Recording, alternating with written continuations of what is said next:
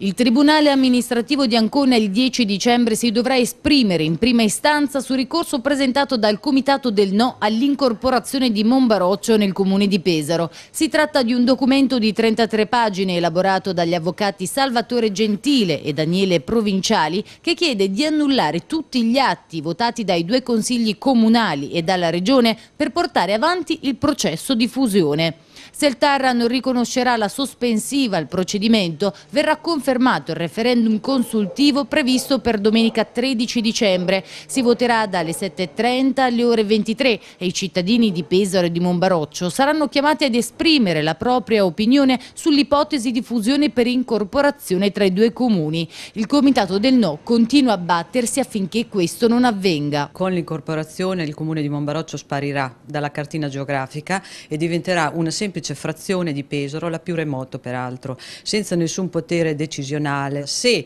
come pare, il sindaco Vichi sarà l'assessore di Pesaro, almeno... Eh, all'immediato, dovrà mh, continuare ad obbedire a Pesaro se vorrà mantenere la carica, altrimenti sarà sostituito così come eh, prevederà lo statuto.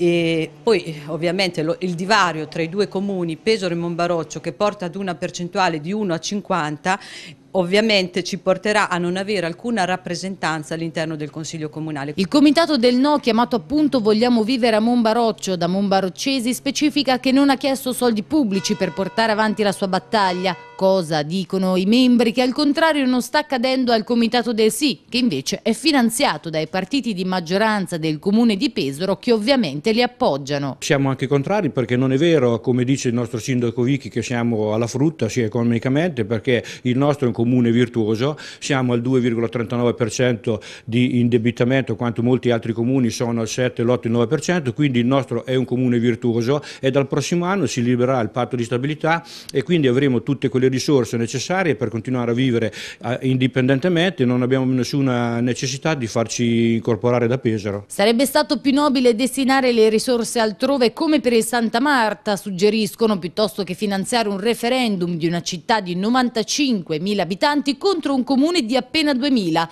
una situazione che definiscono disgustosa. Sarà importante recarsi alle urne quindi. Sarà fondamentale recarsi alle urne perché il voto dei monbaroccesi sarà tenuto sicuramente in considerazione dalla Regione che dovrà dire sì o no a quella che è l'incorporazione.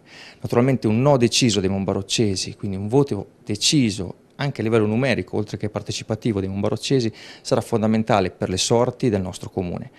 Quello che posso dire è che la Regione ha detto questo e che terrà in considerazione quello che i monbarocesi decideranno.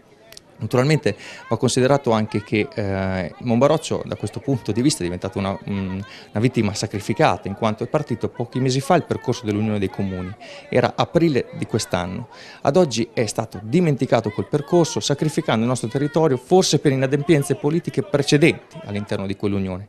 Quindi io invito i monbaroccesi ad andare a votare, a votare no. E non invito solo i monbaroccesi ad andare a votare, a votare no, ma anche i pesaresi a farlo perché siamo stati calpestati a livello di dignità e di democrazia, senza il rispetto di quelle che sono le leggi fondamentali, tant'è che in essere è il percorso di TAR e quindi di questo aspetteremo la sentenza.